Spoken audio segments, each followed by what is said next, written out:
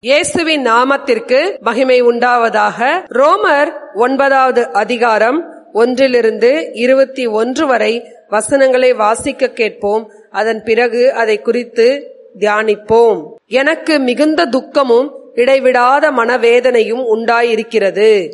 நான் சொல்லுகிறது பொய்யல்ல. கிறிஸ்துவுக்குள் உண்மையை சொல்லுகிறேன் என்று பரிசுத்த ஆவிக்குள் என் மனசாட்சியும் எனக்கு சாட்சியாய் இருக்கிறது மாம்சத்தின்படி என் இனத்தாராகிய என் சகோதரருக்கு பதிலாக நானே கிறிஸ்துவை விட்டு சபிக்கப்பட்டவனாக வேண்டும் என்று விரும்புவேனே.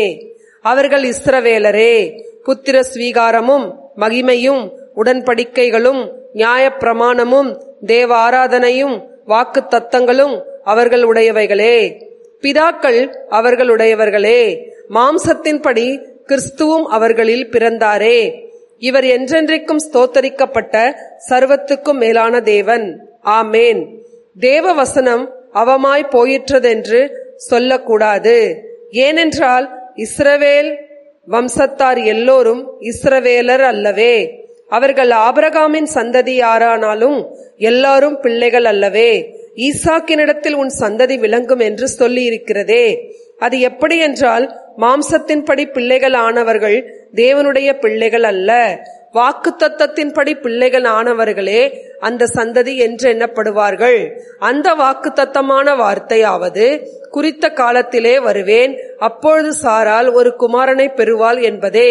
இதுவும் அல்லாமல் நம்முடைய பிதாவகிய ஈசாக் என்னும் ஒருவனாலே ரெபேக்கால் கர்ப்பவதியான போது பிள்ளைகள் இன்னும் பிறவாமலும் நல்வினை தீவினை ஒன்றும் செய்யாமலும் இருக்கையில் தேவனுடைய தெரிந்து கொள்ளுதலின் படி இருக்கிற அவருடைய தீர்மானம் கிரியைகளினாலே நிலை நிற்காமல் அழைக்கிறவராலே நிலை நிற்கும் படிக்கு மூத்தவன் இளையவனுக்கு ஊழியம் செய்வான் என்று அவளுடனே சொல்லப்பட்டது. அப்படியே யாக்கோபை சிநேகித்து ஏசாவை வெறுத்தேன் என்றும் எழுதியிருக்கிறது. ஆகையால் நாம் என்ன சொல்லுவோம்? தேவனிடத்தில் அநீதி உண்டென்று சொல்லலாமா?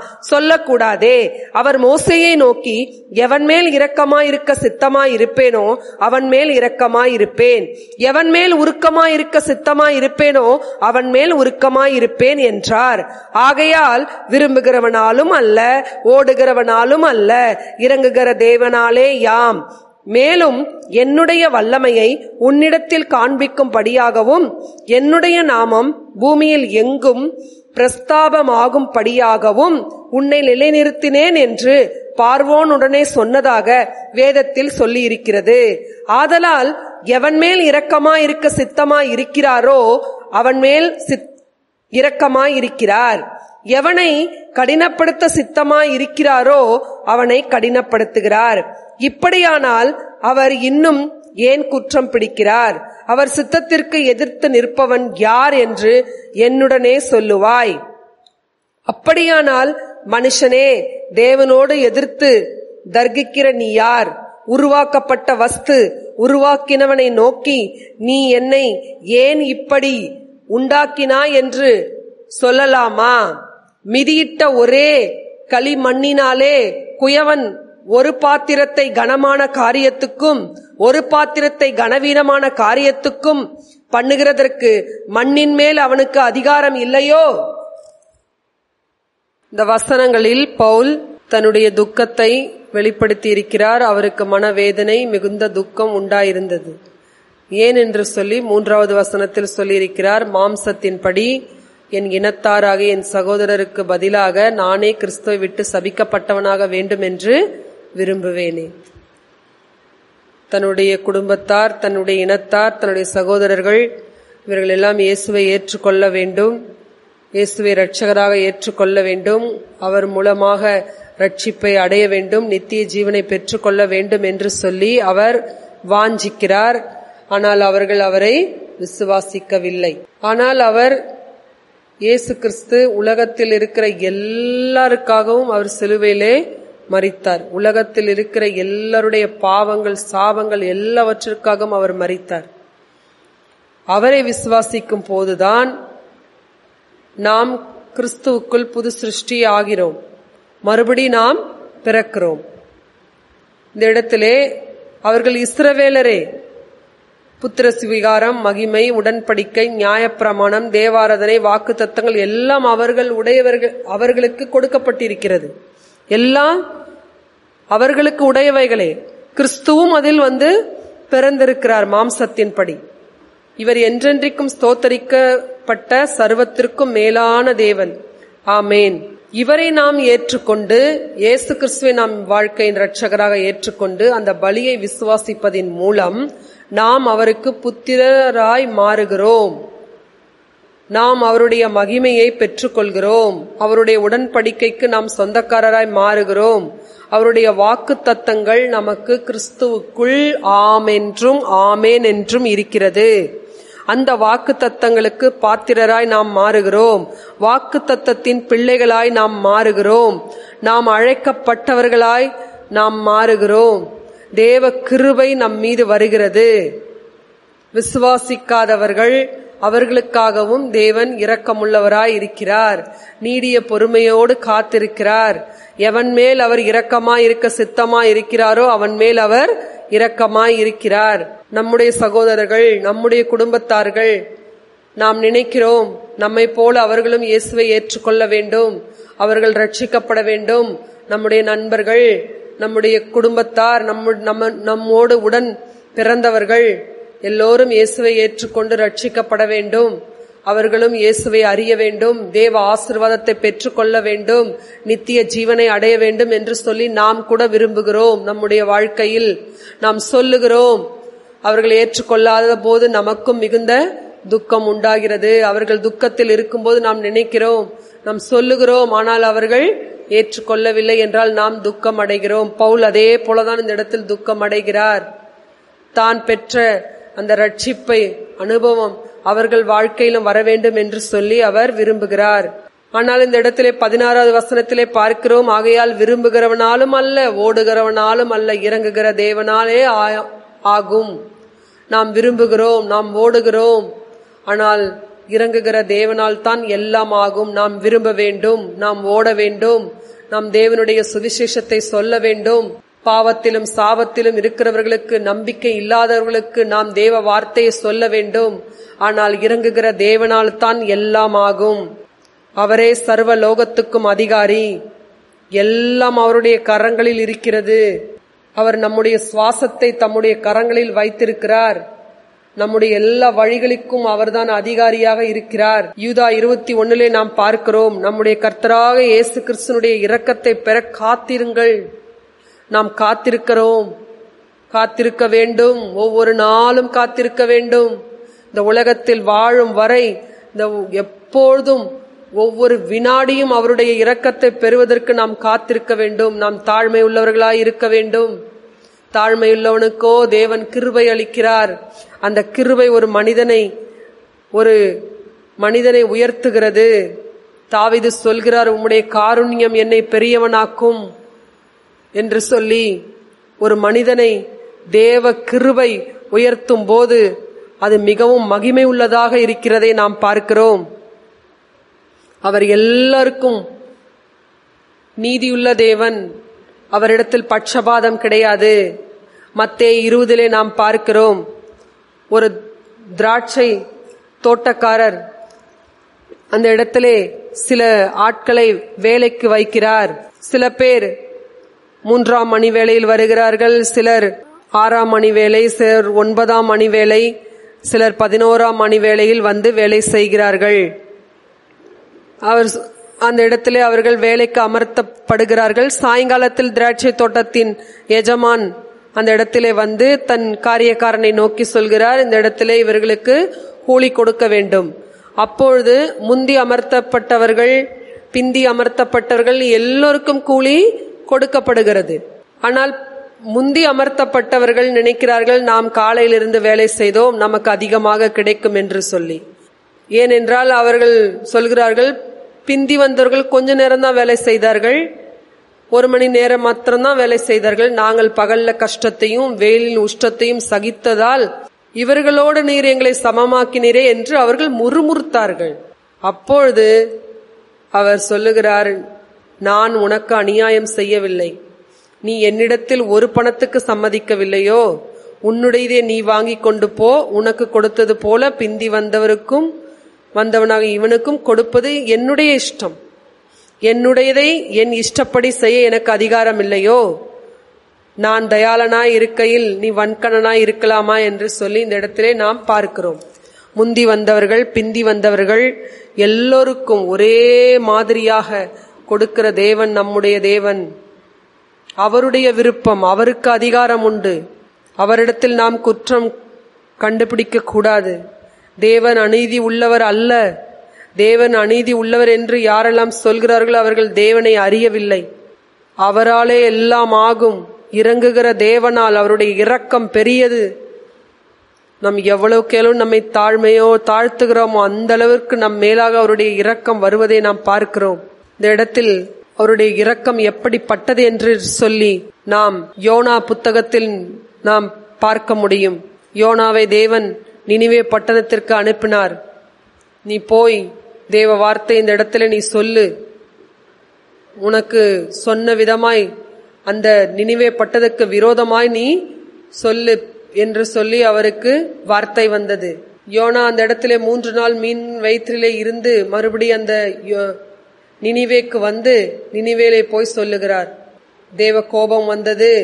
நாற்பது நாளுக்கு அப்புறம் இந்த இடத்திலே அழிவு வரும் என்று சொல்லி அந்த இடத்திலே சொல்லுவதை பார்க்கிறோம். நினிவே கவிழ்க்கப்பட்டு போம் என்று சொல்லி. அப்பொழுது அங்கிருக்கிற ஜனங்கள் தேவனை விசுவாசித்து உபவாசம் செய்யும்படி சொல்லுகிறார்கள். பெரியோர் சிறியோர் எல்லோரும் ரட்டுடுத்தி கொண்டு மிருகங்கள் கூட தண்ணீர் குடியாமல் இருந்து ராஜா இதை கேள்விப்பட்டு ராஜாவும் உட்கார்ந்து தேவனிடத்தில் அவர்கள் உரத்த சத்தமாய் தேவனை நோக்கி கூப்பிட்டு தம்முடைய பொல்லாத வழிகளை தம் கைகளில் உள்ள கொடுமையையும் விட்டு திரும்ப கடங்குவார்கள் என்று சொல்லி எல்லோரும் தேவனை நோக்கி அங்கே ஜெபம் செய்வதை நாம் பார்க்கிறோம். யாருக்கு தெரியும்? நாம் அழிந்து போகாதபடிக்கு ஒருவேளை நம் தேவன் நம் மீது மனஸ்தாபப்பட்டு நம்முடைய உக்கிர தம்முடைய உப்- உக்கிர கோபத்தை திருப்பினாலும் திருப்புவார் என்று சொல்லி அவர்கள் சொல்கிறார்கள். தேவன் நல்லவர். அவர் அவர்களுடைய கூப்பிடும் சத்தத்தை கேட்டு அவர்கள் தங்கள் பொல்லாத வழியை விட்டு திரும்பினார்கள் என்று தேவர் அவர்களுடைய கிரியைகளை பார்த்து அவர்களுக்கு செய்வேன் என்று சொல்லியிருந்த தீங்கை குறித்து மனஸ்தாபப்பட்டு அதை செய்யாதிருந்தார். எவ்வளவு இரக்கமுள்ள தேவன் பாருங்கள். ஒரு மனிதன் தன் பொல்லாத வழியை விட்டு மனம் திரும்பி தேவ சமூகத்தில் வந்து ஆண்டவரே என்னை மன்னியும் என்று சொல்லி சொல்லும்போது அவன் மீது அவர் இரக்கமாயிருக்கிறார். நினிவே பட்டணத்தை அவர் அழிக்கவில்லை. நினிவே பட்டணத்திற்கு அவர் இறங்கினார். மனஸ்தாபப்பட்டார். நம்முடைய தேவன் நல்ல தேவன். அவருக்கு எல்லா அதிகாரத்தையும் நம் வாழ்க்கையின் எல்லாவற்றும் அவர் கரங்களில் நாம் கொடுக்கும்போது அவர் நம்முடைய வாழ்க்கையை ஒரு அழகான ஒரு பாத்திரமாக அதை உருவாக்குகிறார். நாம் உருவாக்கப்பட்டிருக்கிறோம் அவருடைய கரத்தினால். நாம் அவரை நோக்கி நீ ஏன் என்னை இப்படி உருவாக்கினாய் என்று சொல்லக்கூடாது. நம்மை சிருஷ்டித்தவர் அவர். தம்முடைய சாயலில் நம்மை அவர் சிருஷ்டித்திருக்கிறார். நாம் அவரை எதிர்த்து நிற்கக்கூடாது. தேவனோடு எதிர்த்து தர்கிக்கிற நீ யார்? இருபதாவது வசனத்திலே நாம் பார்க்கிறோம். அவருடைய அவரை நாம் எதிர்த்து நிற்கக்கூடாது. அவருடைய கரங்களில் நாம் அ- அடங்கி இருக்க வேண்டும். நம்மை அவர் கிருபையின் பாத்திரங்களாக வணைகிறார். நம் மீது அவருடைய கிருபையை அவர் வெளிப்படுத்துகிறார். அவரால் நம்மை நம்மை சில நேரங்களில் அவர் சிக்ஷித்து நடத்துகிறார். அவருக்கு எல்லா அதிகாரமும் நம் மீது உண்டு. குயவன் ஒரே களிமண்ணினாலே தன் காலால் அவன் மிதித்து அந்த மண்ணை சரி செய்து அது பாத்திரம் செய்வதற்கு ஏற்றாற் போல் அந்த மண்ணை மாற்றி அந்த அதிலிருந்து ஒரு பாத்திரத்தை கனமான பா வேலைக்கும் ஒரு பாத்திரத்தை ஒரு கனவீனமான வேலைக்கும் பண்ணுவதற்கு அந்த குயவனுக்கு அந்த மண்ணின் மீது அதிகாரம் இருக்கிறது. அதே போலத்தான் நம்மை வணைந்தவர் நம்மை சிருஷ்டித்தவர் நம்மை உருவாக்கினவர் அவருடைய சுவாசத்தை நமக்கு கொடுத்தவர் அவருடைய சொந்த குமாரனையே நமக்காக பலி கொடுத்தவர் நம்முடைய பாவங்களுக்காக எல்லாவற்றையும் நமக்காக அவர் இந்த உலகத்திலே உண்டு பண்ணி நாம் சந்தோஷமாய் வாழ வேண்டும் என்று சொல்லி அவர் எல்லாவற்றையும் தேவன் நமக்கு கொடுத்தார். அவருடைய அன்பு பெரியது. அவருடைய இரக்கம் பெரியது. அவருக்கு எல்லா அதிகாரமும் நம்முடைய வாழ்க்கையில் உண்டு. அவருடைய கரத்தில் நாம் நம்மை அர்ப்பணிக்கும் போது நிச்சயமாக நாம் தேவ கிருபை அடைந்து தேவனுடைய மகிமையை பெற்றவர்களாக தேவனுடைய புத்திர ராகும்படிக்கு அவருடைய வாக்கு தத்தத்தின் பிள்ளைகளாக நாம் மாறுகிறோம். கிறிஸ்துவுக்குள் கிறிஸ்துவுக்குள் நாம் எல்லாவற்றையும் பெறுகிறோம். நம்முடைய சொந்தக்காரர்கள் நம்முடைய சகோதரர்கள் அவர்களும் தேவனை அறிய வேண்டும். நமக்கு எனக்காக இயேசு கிறிஸ்து மறித்தார் என்று சொல்லி. யோவான் பத்தாம் அதிகாரத்திலே நாம் பார்க்கிறோம். அந்த இடத்திலே இயேசு சொல்கிறார் இன்னும் ஆடுகள் வெளியே இருக்கிறது. எல்லாவற்றையும் நான் கொண்டு வர வேண்டும் என்று சொல்லி அவர் நீடிய சாந்தம் உள்ளவராய் அவர்கள் வருவார்கள் என்று சொல்லி காத்திருக்கிறார். நம்முடைய தேவன் நல்ல தேவன் நம்முடைய தேவன் நல்லவர் கர்த்தர் நல்லவர் அவர் கிருபை என்றும் உள்ளது அவர் கிருபை என்றும் உள்ளது. இயேசு கிறிஸ்து நமக்காக மறித்தார் நாம் சொல்லுவோம் நம்முடைய சகோதரர்களுக்கு சொல்லுவோம் நம்முடைய குடும்பத்தாருக்கு சொல்லுவோம் நம்மை போல அவர்களும் தேவனை ஏற்று இயேசுவை ஏற்றுக்கொண்டு தேவனை ஏற்றுக்கொண்டு அவர்களும் நித்திய ஜீவனை அடைந்து இந்த உலகத்தில் தேவ ஆசிர்வாதத்தை பெற்றவர்களாக ஜீவனை அடைந்து ஆளுகை செய்வதற்கு நாம் அவர்களுக்காகவும் ஜெபிப்போம். அவர்களுக்கிட்ட நாம் சொல்லுவோம் தேவன் இடத்தில் அநீதி அல் இல்லை. அவர் இரக்கமுள்ள தேவன். அவருடைய தயவையும் அவருடைய இரக்கத்தையும் பெறுவதற்கு நாம் காத்திருப்போம். ஒவ்வொரு நாளும் காத்திருப்போம். அவருடைய இரக்கம் நம்மை உயர்த்தும். நம்முடைய கர்த்தராக இயேசு கிறிஸ்தனுடைய இரக்கத்தை பெற நாம் காத்திருப்போம். அவருடைய பலத்த கரத்துக்குள் நாம் நம்மை அர்ப்பணிப்போம். நாம் ஜெபிப்போம். அன்பின் தேவனையும் உம்மை ஸ்தோத்தரிக்கிறோம் அப்பா. நீர் இல்லாத ஒரு வாழ்க்கை வெறுமையான வாழ்க்கை ஆண்டவரே. எங்களை ரட்சித்தீர் ஆண்டவரே உம்முடைய ரத்தத்தால கழிவு சுத்திகரித்தீர். அதே போல எங்கள் சகோதரர்கள் சகோதரிகள் இந்த தகப்பனே இந்த இடத்துலலாம் துக்கத்தில் இருக்கிறார்களோ அவர்கள் எல்லாரையும் தொடுங்கப்பா. ஆண்டவரே உம்முடைய இரக்கம் கிருவை ஒவ்வொரு நாளும் எங்களுக்கு வேண்டாண்டவரே எல்லாருக்கும் வேண்டாண்டவரே உம்முடைய கிருவை நீர் வெளிப்படுத்துவீராக. உம்முடைய கிருவை எங்களுக்கு வேண்டும் அப்பா உம்முடைய தயவு உம்முடைய இரக்கம் உம்முடைய மனதுருக்கம் எங்கள் மேலாக எப்பொழுது இருக்கணும் ஆண்டவரே. அதை பெற்றுக்கொள்கிறவர்களாக ஒவ்வொரு நாளும் நாங்கள் தாழ்மையோடு எங்கள் வாழ்க்கையை உம்முடைய கரத்திலே ஒப்பு கொடுத்து நாங்கள் இருக்கும்போது அண்டவரே அந்த இடத்திலே ஒரு பெரிய ஆசிர்வாதத்தை நாங்கள் பெற்றுக்கொள்வோம் அப்பா. நாங்கள் விசுவாசிக்கிறோம். எங்களுடைய வாழ்க்கையை உங்களுடைய கரத்திலே நாங்கள் ஒப்பு கொடுக்கிறோம் நீர் பொறுப்பெடுத்து வழி நடத்துவீராக. இயேசுவின் மூல ஜபங்கிலும் நல்ல பிதாவே. ஆமேன். இந்த டிஸ்கிரிப்ஷன் பாக்ஸிலே சில கேள்விகள் கொடுக்கப்பட்டிருக்கிறது. அந்த கேள்விகளுக்கு இந்த வசனத்திற்குள்ளாக தான் அதனுடைய ஆன்சர் இருக்கும். அதை நீங்கள் எழுதி இதில் இருக்கிற இந்த நம்பருக்கு வாட்ஸ்அப் செய்யுங்கள். கண்டிப்பாக இது உங்கள் வாழ்க்கையில் மிகவும் ஆசிர்வாதமாக இருக்கும். கர்த்தர் உங்களை ஆசிர்வதிப்பாராக. ஆமேன்.